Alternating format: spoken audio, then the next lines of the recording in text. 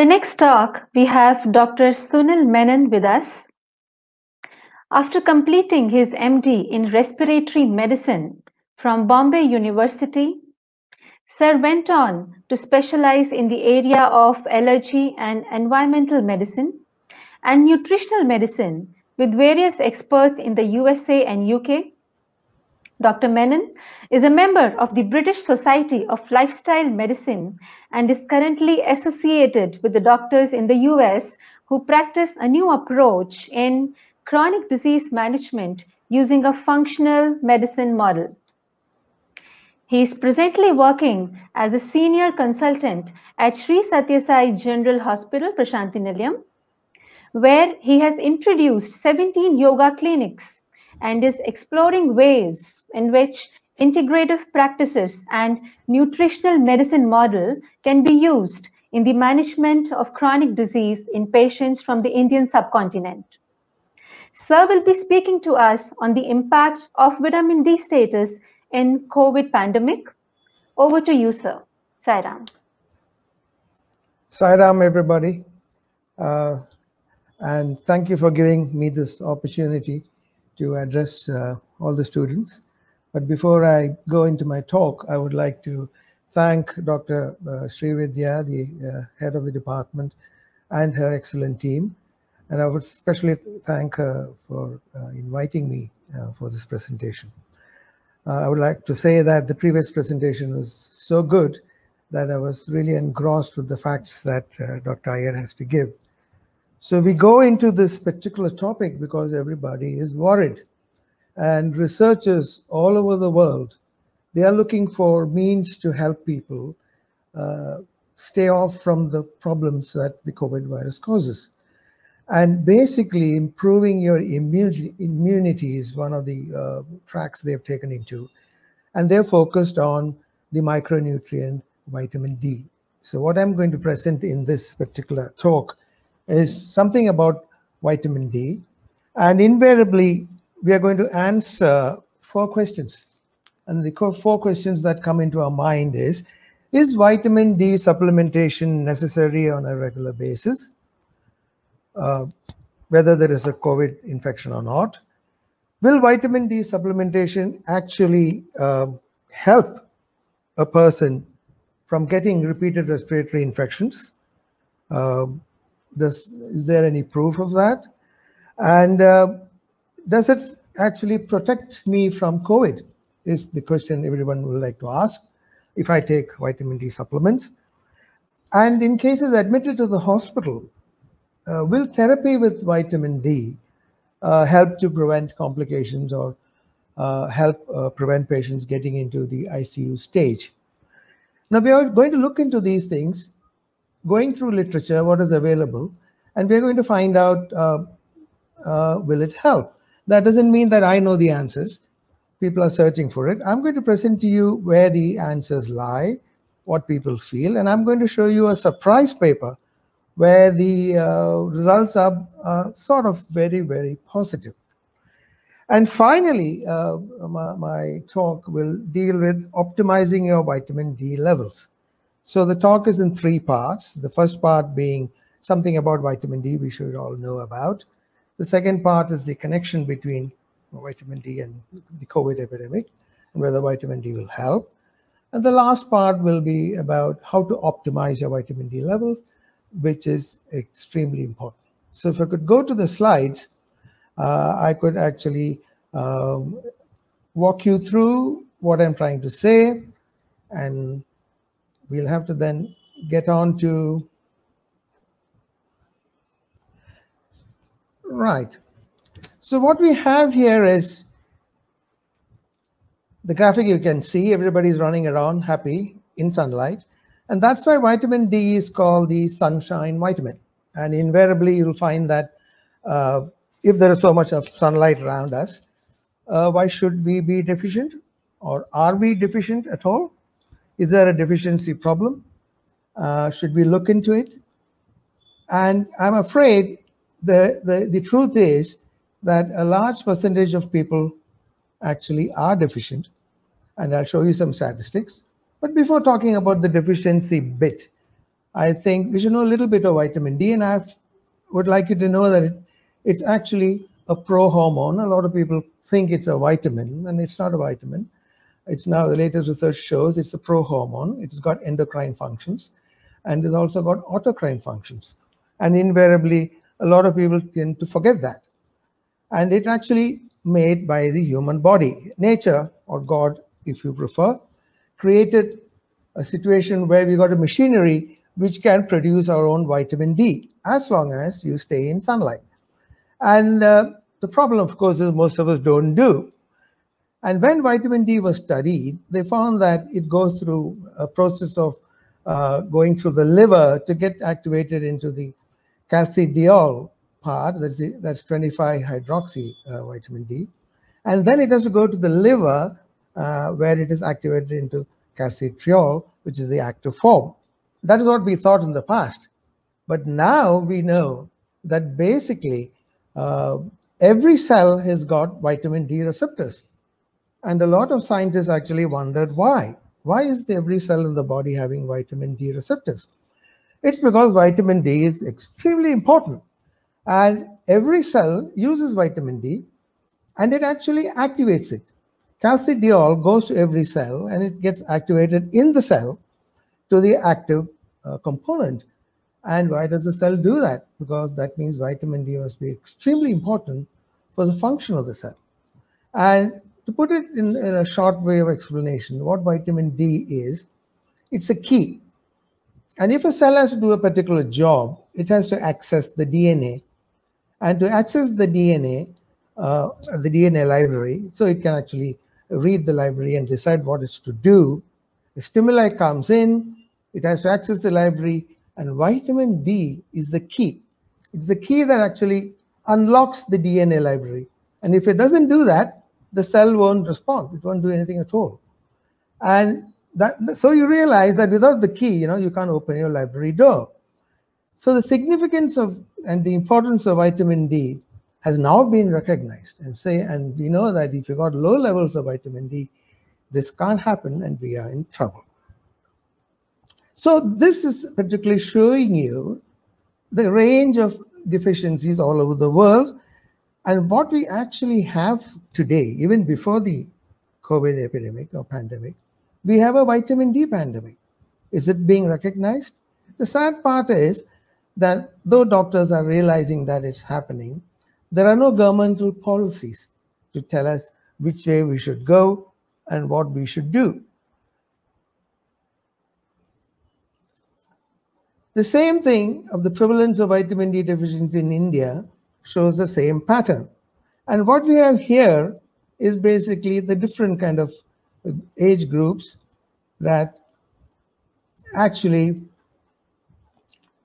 show up, showing that vitamin D is, is a problem in the elderly, of course, in the adults, of course, in the women, pregnant women, adolescents. Now, I thought most of the young people are outdoors getting enough sunlight. It looks like the modern era is caught up. We're sitting in front of the TV indoors all the time. And that is the basic problem. So we realize that vitamin D deficiency not only all over the world, globally it's about 40%. USA now, the statistics show that it's increasing dramatically. The rich country, people still vitamin D deficient. And what we have to see is,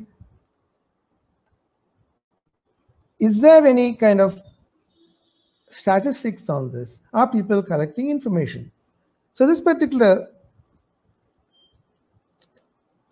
vitamin D deficiency in India paper, which I'm showing you, being very randomly selected. And I selected it because it is very well written. It's from the All India Institute of Medical Sciences. And I'm sure the students who are listening to this will get access to more of the stuff. And they said at the end of the paper that in India, vitamin D deficiency is widespread. We already saw that.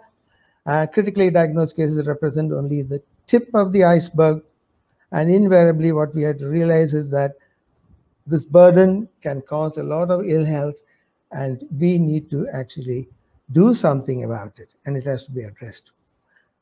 Now, in this paper, they've explained why Asians and Indians and people living in sunny places, why they have the deficiency. And some of the points they said is because um, although there's so much of sunlight, people hardly go out. They wear clothes. We are shy. Asians are shy. We tend to cover ourselves most of the time. The Asian skin, being of, of a darker nature, needs uh, longer exposure to, to sunlight, and that also in particular hours, which you'll see later on. And, in, and that's not being done. The other thing is, of course, malnutrition and diet plays a part. And then ladies get pregnant very quickly. There's no much spacing. And finally, they said pollution can, can actually affect urban areas, a lot of pollution. It blocks the ultraviolet rays, especially the UVB, that is actually useful for making vitamin D. UVA is the harmful one. UVB doesn't cause any harm. It is the one that actually lands on your skin and you get vitamin D being made. And if the UVB, UVB is very easily blocked, by the way. Tissue paper can block it, so your clothes will certainly block it. So those are the kind of small reasons they are sort of said could be affecting the vitamin D status in India. And there are countries who are actually looking into it. And this is the latest report from Ireland, which talked about vitamin D and the implications for COVID-19. I'm just showing you this particular paper as an example to show that all over the world, people are taking vitamin D very seriously. And they are looking at the implications for COVID-19, like we are going to look at the implications in our talk. And what we have to uh, really realize is that all these are preliminary uh, guidances and these are not the guidelines. It does not come into official government policy in majority of the countries. Uh, but they are, just shows that you know we should start worrying about this problem. I put up the slide just to tell you um, and show you what the, the levels are. Uh, one is in nanograms per ml. This is what is basically used in the States. Then you got the nanomole per liter. This is generally what is used in the UK. Uh, it's just that if you multiply this by 2.5, you can actually convert this to this. The slide is mainly to show you this is the deficiency level. Anything below 20 is deficient. 20 to 30 is called insufficient or insufficiency. A lot of uh, researchers and doctors believe that insufficiency also should be, should be taken seriously because we shouldn't wait for deficiency. That's what really causes rickets. Uh, insufficiency causes a lot of health problem because it causes dysfunction. As we saw, the vitamin D is the key to the DNA. And if you've got insufficient vitamin D, the key doesn't work, the body doesn't work, and you're going to get problems. The normal, they said, is about 30. And then invariably, uh, when you see a report, if a doctor says it's about 30, they say it's fine. But uh, a new set of uh, researchers who are advocating vitamin D actually have different ideas, which I'll share it with you in a moment. Of course, people are worried about overdose, and overdose is a problem. They say anything about 100 uh, nanograms of overdose, and nobody can really get that actually. So what we actually here is have another slide, which which, which is from the people who are advocating the levels that they show should be changed. And they're saying deficient should be anything below 30. 30 is the is the breakup mark. Insufficient should be 31 to 39. And actually everyone should be 40 to 80. Now, where did this come from? What we don't realize is that uh, where did this idea come from that this should be the, the, the basic level? So they had a hypothesis that our ancestors who were in the sun all the time actually had this level. And how do we know today what the level should be? So these two photographs show the Hadza tribe here, the Maasai tribe there. So they went to Africa and got hold of this tribe. They're leading a very basic hunter-gatherer lifestyle. As you see, uh, they're exposing themselves to the sunlight and they are outdoors all the time and their levels were 40 to 60. So invariably, um, you know, go to up to 80, 40 to 60 is fine. And they said, okay, that is the level human being should be, and that's the level we function best. The other proof came from the fact that pregnant mothers, they give milk to their babies. If the milk should contain enough vitamin D to the baby, the mother should be at this level for her to have sufficient vitamin D in her milk. So that makes sense. Nature is always right. Finally, there's a relationship between vitamin D and the parathyroid hormone. If the vitamin D levels fall, it, it sort of acts on the calcium metabolism, and parathyroid hormone goes up to regulate the calcium metabolism and bring it back to normal. So a higher level of parathyroid we really don't want. And how do we prevent that? Well, we keep our vitamin D again to this magic figure, and that is where this magic figure came. Uh, everything tells us the figures generally accepted in, in, in the standard textbooks are not perhaps right. Well, I'm just giving you a viewpoint, uh, and it is not yet confirmed. Well, that is true. So that's the first part of my introduction to, to vitamin D and, uh, and, and um, some of the basic things you need to know of. So invariably, to answer the first question, uh, should we take vitamin D supplements? Well, if you're not going out in sunlight all the time, invariably vitamin D levels in your body will be low. And uh, taking vitamin D on a regular basis could be a possibility. Second part of my talk was supposed to be on vitamin D levels and the COVID connection. So is there a correlation? Now, what they've sort of tried to do is look into where did this COVID virus come from? And actually, it is a zoonotic virus. It came from an animal, came to us, and it came in winter time at a particular latitude. So they said, okay, fine. Uh, maybe this winter cold and latitude is the connection. They went around all over the world getting statistics on that and found that, okay, there is a correlation. Then they found that uh, blacks and minority groups, especially the ones with dark skin, they are disproportionately affected. So they said, okay, they got dark skin, maybe they're not making enough vitamin D. And we're talking about the modern humans who are, you know, indoors all the time. So they're not get, getting uh, enough sunlight either. They also found that the case fatalities, uh, proportion of them, uh, was more seen more in, uh, in the elderly. And the elderly cannot make vitamin D, even if they stand out in the sun for a long time. The skin loses practically 75% of its capacity to make vitamin D. And invariably, the case fatalities were more in people with diabetes, hypertension, cardiovascular disease, and having metabolic syndrome.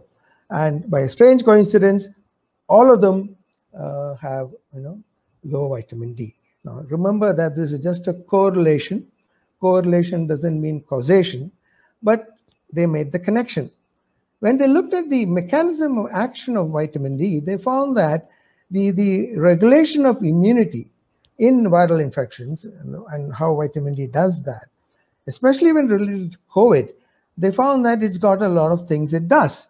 And, uh, and this has been uh, explained in detail in some of the papers I'm going to show you. I'm not going to go into the details of how it does, but all we have to remember is that it seems to have something to do with the COVID virus itself, because it's a virus with an envelope, uh, and uh, it, it tends to help block it. It tends to prevent its entry into the cell. And it also works, uh, the vitamin D works on the RAS, the renin-angiotensin system. And what the COVID virus does, it, it acts on what is known as an ACE2 receptor. It enters the cell through the ACE2 receptor, and the ACE2 receptor is very intimately connected with keeping the, the lung healthy, uh, the endothelium healthy, the vascular endothelium healthy, and it downregulates, it knocks off this receptor, uh, and then uh, that causes effects on the uh, renin-angiotensin system, the renin levels go up, and vitamin D actually does the opposite. It actually upregulates the ACE2 receptor. So suddenly they made another connection. They said, okay, fine. If you give a lot of vitamin D to these people, it'll sort of protect us because it's acting against the virus, it is killing the virus, it is upregulating uh, the ACE2 receptor. Maybe that can work. Now, all this is a hypothesis. Remember, they have done some rat experiments on the ACE2 receptor. They found that to be true. But like I said, I'm just giving information. I'm just trying to let you think along the lines the others, the researchers are thinking and they're basically saying that, okay, we have found so many associations, so many correlations. So maybe giving vitamin D is a good idea. So let's see if that is true. I just put this up just to sort of remind you of what vitamin D does. It's got what is known as immune regulatory uh, function. A lot of people think vitamin D is linked to calcium and the health of your bones and in osteoporosis. Well, that's one part of the endocrine bit it does, but it's got uh, immune regulatory action. It's being studied a lot. And we've got two types of immunity. We've got the innate immunity and we have got the adaptive immunity. And the innate immunity basically is the one that comes first into the picture when a pathogen like say COVID virus comes in, this immunity is, is, is, is, starts working, the macrophage is informed and it's involved in the dendritic cells are informed. And vitamin D is very important to go as a key to open up the macrophage, tell it what to do. And in addition to that, so that basically boosts the system, it produces a microbial protein called cathelicidin. And this is surprising that there is a microbial protein. And this protein actually works a lot on viruses which has got an envelope in it. And the COVID virus got an envelope in it. And what this does is it goes in and breaks the envelope up. Makes holes in it, and the virus loses its particles and dies. So if you got enough vitamin D, this function is possible. Vitamin D also acts on the adaptive immunity. And in the adaptive immunity, basically, uh, what it does is it actually suppresses IL-6. A lot of cytokines are produced when, when a foreign pathogen comes, the body is trying to protect itself. It uses all the T lymphocytes and the B lymphocytes, the, the T helper lymphocytes, and all these uh, immune systems are kick-started one of the problems is that you need a brake. So when you know you send an army in with a lot of guns, a lot of collateral damage can take place. So when the immune system is working, you find that you know uh, a lot of cytokines are produced, and that's why you keep hearing about the cytokine storm. That's one of the problems with uh, COVID infection. Patient gets a cytokine storm, uh, the chances of recovery uh, drops quite a lot. So what vitamin D does it, it suppresses the the IL-6 is one of the uh, important cytokines there. And, and, so it's got a, a suppressor. It acts like a brake. And that's why it's called immunoregulatory. So it acts both ways. So I, I, I presented to you the hypothesis. I presented to you the correlations, the associations. So can we actually go ahead and say, hmm, maybe we should go, go to the shop uh, and in India, you know, over-the-counter medicines are easily available. And ask the person, give me a lot of vitamin D, I'll swallow it, and then I'll walk around without a mask. You, sorry, you can't do that. So there's a good Lancet paper to, who looks into it, and they, and they caution us. They say that because there, there are all these uh, studies which are showing associations, and uh, these are all observational studies and epidemiological studies. They look into the epidemiologies, collect the data, and try to you know compare and see if there is a correlation or association. That doesn't mean we have proved causation. For that, we need what is known as an RCT, randomized controlled trial. Now, do we do randomized controlled trials? Well, the good news is about eight of them have been started recently. And uh, I told you I'll show you a surprise paper, uh, and I got one of them, which has got some surprising results.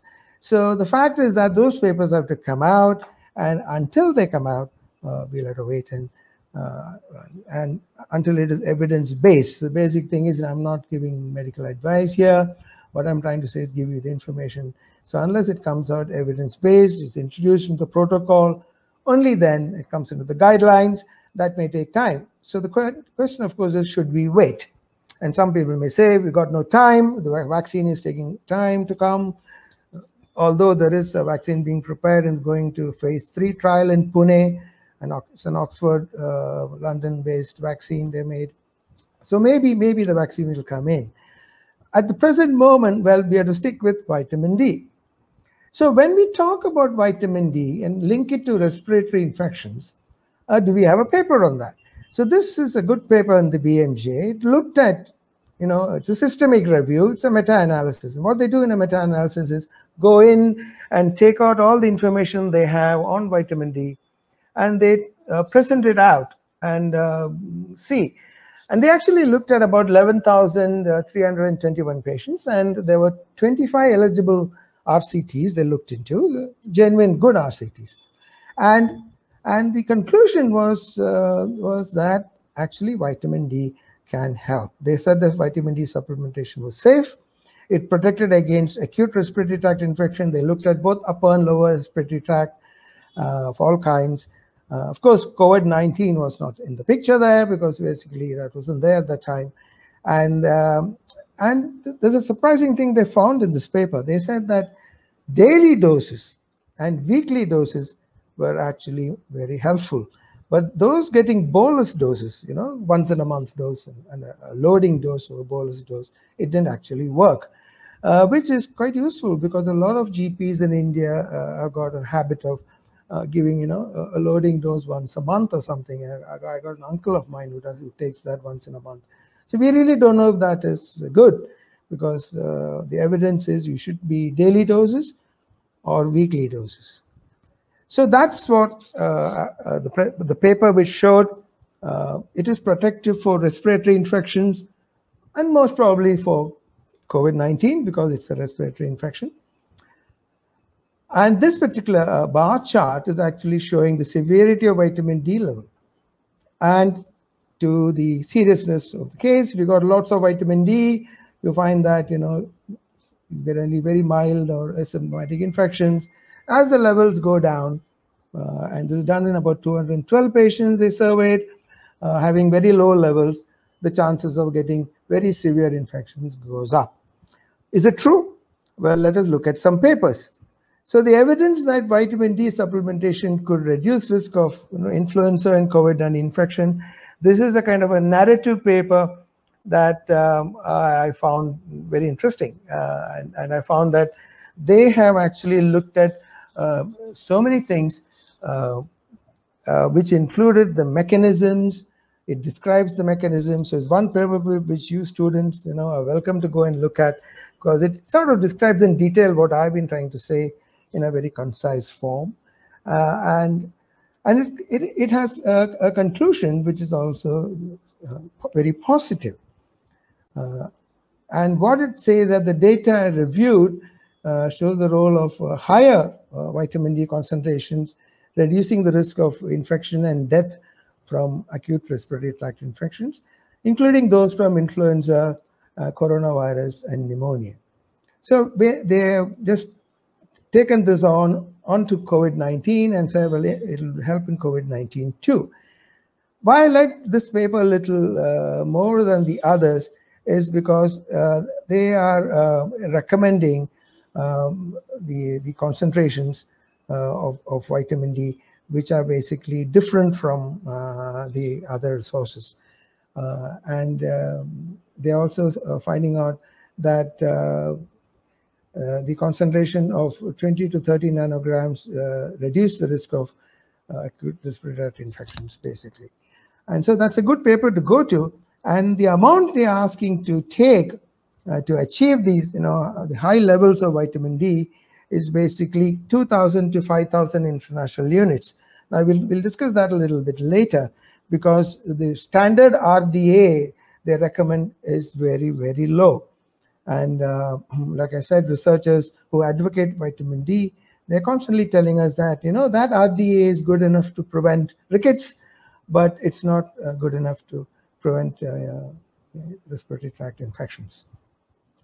So then I go on to uh, a paper which I find is quite amazing. This paper has actually uh, not been published yet. So I just got you know uh, directly from uh, uh, uh, the, the search for what the person had given as, as the initial part of his work. And this paper is actually from the Philippines. And what it basically looked at was, it looked at vitamin D level and the severity of all the patients who had COVID-19. So it went through um, a, a, large uh, number of, of, patients, nearly uh, multicentric uh, study was there, about 12 and 12 uh, cases was there. And they did what is known as a multinomial logistic regression analysis. It's a statistical analysis that looks at the odd ratio. And uh, the chart itself uh, shows that you know, depending on the level of vitamin D, uh, very similar to the bar chart I showed initially, that the severity changes, it goes up. Yeah, the lower the level, the greater the severity. And if I talk about you know, statistical speech, the odds ratio, they found uh, that for each standard deviation increase in serum uh, D3, the odds of having a mild clinical outcome uh, increased by about seven, it was about seven, seven times. And the odds of having a mild to critical outcome uh, was 19 times, which means that basically it protects you a lot. That if you have enough vitamin D, the chances of you getting a severe complication is reduced uh, by 19 times, which is pretty good. Uh, that's why I included this paper to show you that you know people are looking into uh, severity and connecting it to the vitamin D status. Uh, the other paper is another Indonesian study that is yet to be, you know, uh, coming out. It's gone for peer review, but I found that you know it's so good that I felt like including it. Uh, and they also studied um, a number of cases, uh, and what they basically found was um, uh, 780 cases actually studied, and it focused on identifying patterns of mortality. And these people said, how many people die? And which is kind of an important question that comes to us, that if I get COVID-19, what is the kind of patient uh, who for whom it is quite going to be dangerous and is going to die? And they looked at this and found the majority of cases with deficient uh, vitamin D, insufficient vitamin D levels died.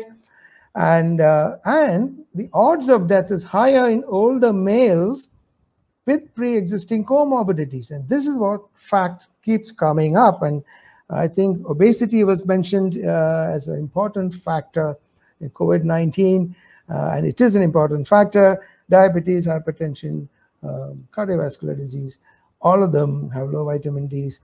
And the funny thing is, you know, this mentions older males. So on a sort of a happy note, if you are female and if you're young, uh, and if you don't have any comorbidity, the chances are that the COVID virus won't really cause you know, uh, major problems in you. That doesn't mean you should go and get it, but uh, I like this paper very much because it sort of pinpoints, because that is what people are worried about uh, all the time. So coming to, uh, uh, is there a treatment? Can we give vitamin D? Is there an RCT? So I told you that, you know, I'll have you uh, see a surprise RCT, which I kept um, for the last. And, um, and this, this is, of course, um, peer-reviewed, published.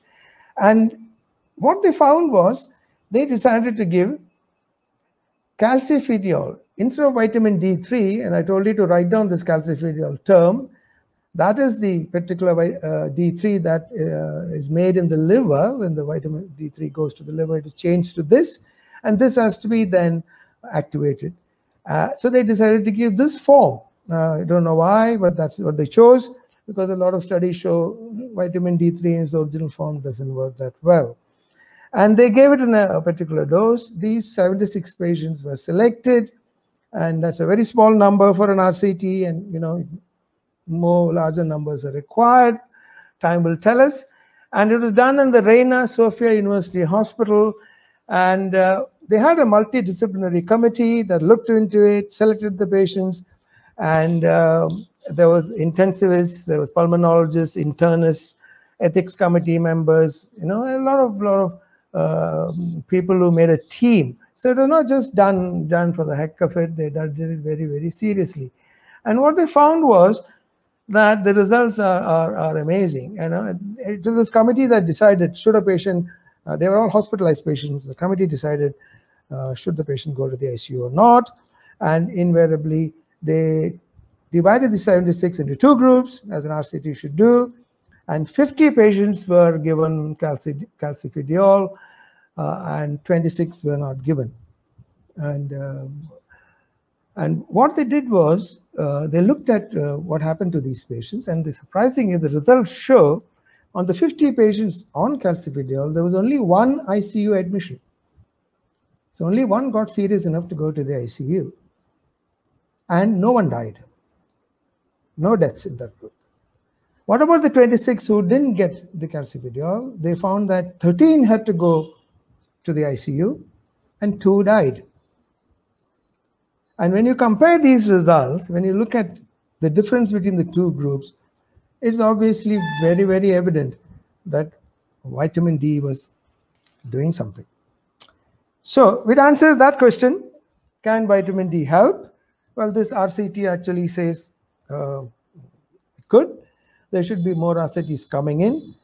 Uh, in the meantime, should I go and take some vitamin D? Well, to answer that question, I come to optimizing your vitamin D level, which I'm sure everybody's interested in, saying that, oh my God, vitamin D seems to be playing some part. Uh, maybe I should take some vitamin D. The first thing I should uh, request you to do is to, to always consult your family physician. Uh, if you can afford it, uh, it's an expensive test, get your vitamin D levels done. If you find that you are locked up uh, in a place 24 hours all the time, not getting enough sunlight, and you belong to what we know as uh, these two groups uh, or skin types. You know, there's a Fitzpatrick skin type chart. I just picked up what's relevant to us. Uh, Europeans have got white skin and they tend to need very little time in the sun to make vitamin D. Uh, we unfortunately need a little longer. So depending on whether you're type 4 or type 5, you know, you need to uh, get your vitamin D from the sun. That's the cheapest way and the simplest way to get uh, and optimize your level. You don't have to get the sun every day, uh, twice a week or even thrice a week is supposed to be good enough. And uh, how much of the skin should you should you expose? And that's important. Uh, you can't simply go fully clothed. You can't wear a burqa and stand in the sun. Nothing will happen. Uh, and which is a problem in India because we tend to generally cover ourselves up. Uh, and uh, you must think of, you know, privacy, where can you go up? Maybe the terrace of a building.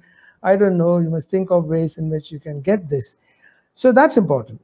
The, the percentage of the side of the body you expose the sun to. The second thing is how long? Do you do stand the whole day? Uh, so the average is that for the skin types I mentioned, about 30 minutes, 25 to 30 minutes, uh, sunlight is good enough. But the time of the day seems to be important because the time of the day, morning 10 o'clock to afternoon 3 o'clock, that is where you get the best and the maximum amount of uh, the uh, ultraviolet B rays, UVB rays.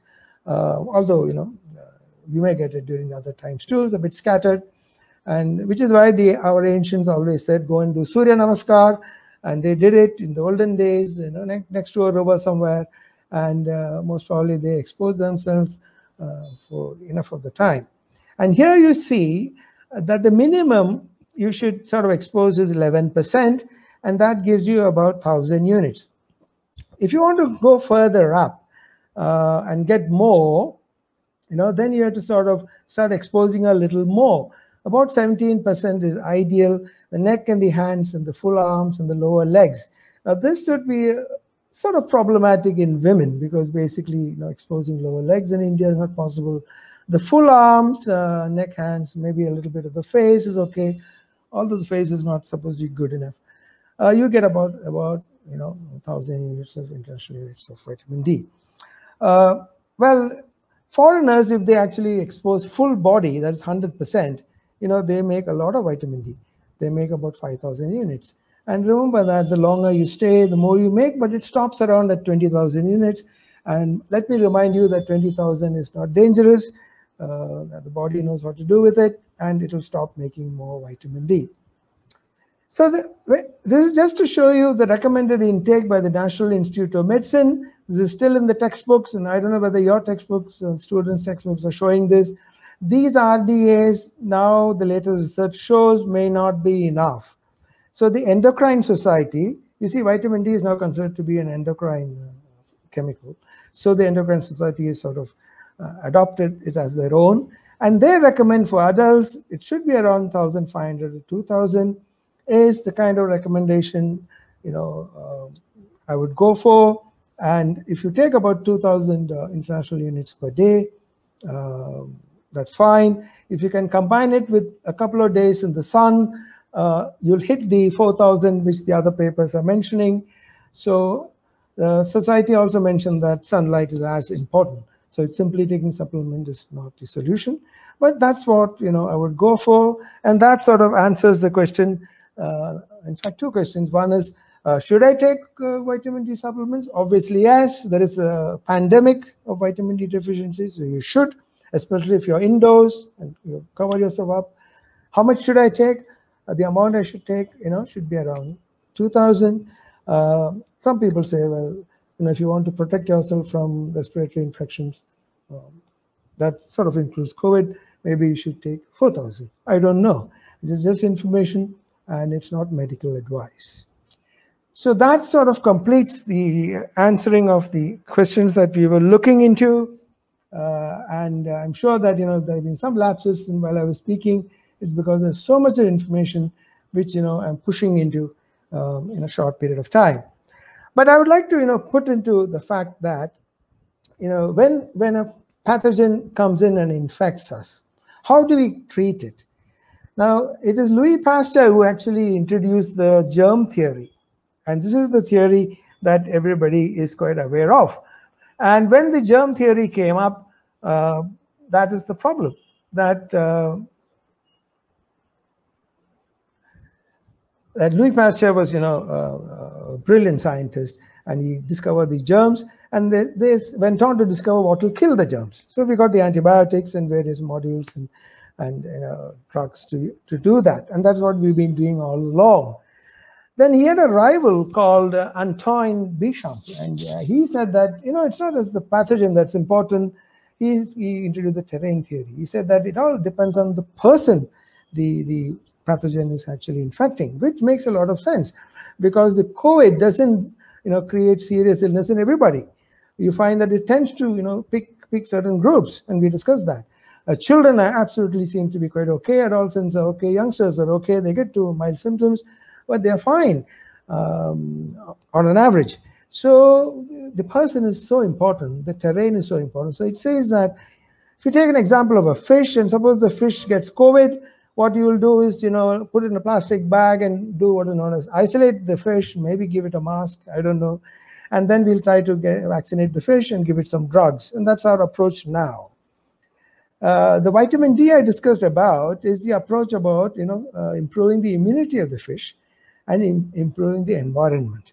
This is one area where, the, where you nutritionists will come in because you're the ones who are going to give guidelines and say that, you know, you have to have a healthy mind and healthy body maybe the fish uh, should also have a healthy mind, should, should be perhaps given a couple of extra fishes to swim around with, give a family of fish, and put it into a bigger tank and uh, give it more oxygen, which is, uh, for survival, and give it fish food and not junk food. And maybe it should get some, some more sunlight, ask it to swim a little more higher here so the sun can hit it, get some vitamin D. Jokes aside, remember that looking after your body, looking after your mind and looking after the environment. And I think Swami has talked uh, a lot on this subject. And he's always said that our ancient gurus knew how to live. Our ancient gurus knew how to eat. And our ancient gurus knew how to live close with the environment.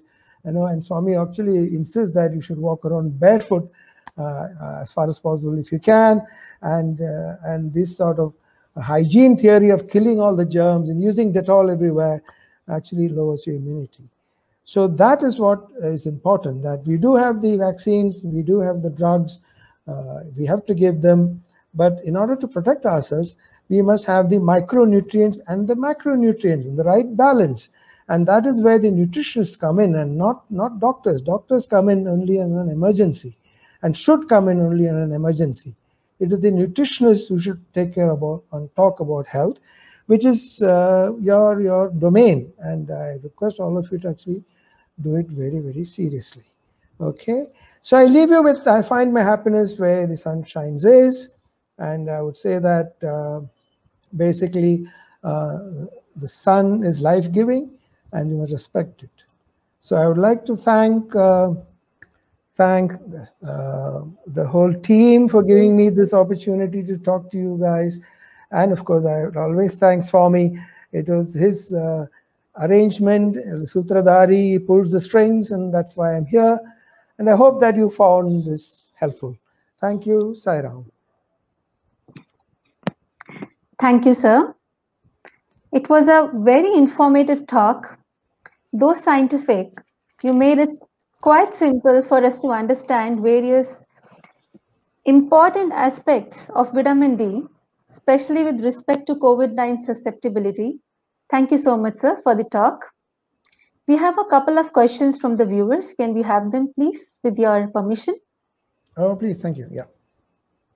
So the first question is, what are the sources of vitamin D and how do we maintain vitamin D levels in the body? Oh, brilliant. Uh, I think I just didn't answer this question in my talk because I knew this will come up. Uh, you see, for vegetarians, very difficult. 90% of vitamin D has to be made from sunlight, or you have to take supplements. Vegetarians can't get it from food, no way. Uh, mushrooms, mushrooms contain vitamin D. So if vegetarians, you can, you're allowed to eat mushrooms. A lot of people don't like mushrooms uh, under the ground, so they don't consider it vegetarian. But you have no choice. Very sad. You have to be in sunlight. That's what most of our Indians were doing. You know, we were all outdoors all the time. In fact, in my grandmother's and great grandmother's days, cooking was done outside. We children were playing outside. We were not allowed in the house, only to sleep. Otherwise, we were kicked out, and I wondered why. And you know, my mother, mother and grandmother used to put coconut oil on my body and make me run around, you know, outside. So um, maybe you know, it's all because of vitamin D. But today we are all indoors and we are wrapped up. So, so I'm sorry to say, uh, non-vegetarian food uh, does give a little bit. I mean, not the amounts we are talking about. It gives a little bit of the RDA amounts. So if you eat non, a lot of non-veg food, it can get the RDA, but it can't get 2,000 units. Again, you need sunlight, of course. Yes. Okay. Thank you, Thank you. sir. Uh, sir, another question is, is it advisable to take vitamin D supplements over natural sources? Uh, natural sources are not available. Uh, if, if you are getting enough sunlight, Yes. You don't see the basic thing is you know sun is our mother and and and it does the job. So you know God made us that way. You make your own vitamin D, go to the sun. Now, if you're not doing that, that's why you need supplements. You know? And then, of course, if you find that you're pregnant and you're lactating, and, and the pediatricians will look at the children and you know test their vitamin D. So ideally, the vitamin D has to be tested. Uh, it's too expensive. So in India now, they've done the survey. India is a pandemic. And remember that there's no toxicity of a vitamin D. The toxicity for vitamin D is 10,000 units per day. Yes. No one will take 10,000 units per day. it is it is actually silly. So uh, there's a lot of a misunderstanding that you know vitamin D can be toxic. Of course, it can be toxic. You take a whole bottle or something. But uh, if, you, if, you, take uh, and the endocrine society says that you know the upper limit of normal, uh, they said even up to 4,000. They said the upper limit of normal. If you take 4,000 per day, nothing's going to happen. And the toxic level, they said, uh, is 10,000. And that should be about 150 nanograms. Our normal should be around 40 nanograms. 40. So we are trying to hit that 40, 30 to 40 range and mm. not uh, reach 150. So, and it will never reach 150. but like I said, uh, medical guidance is required. You can't simply go to the shop and start swallowing. Uh, but yes. if you swallow these small minimal amounts, uh, nothing will happen. Okay. I yes, thank you so much, sir. I thank you once again thank for you. conducting a wonderful and informative session. I hope the viewers have gained a lot of insights from your talk. Thank you. Thank sir. you. Thank you.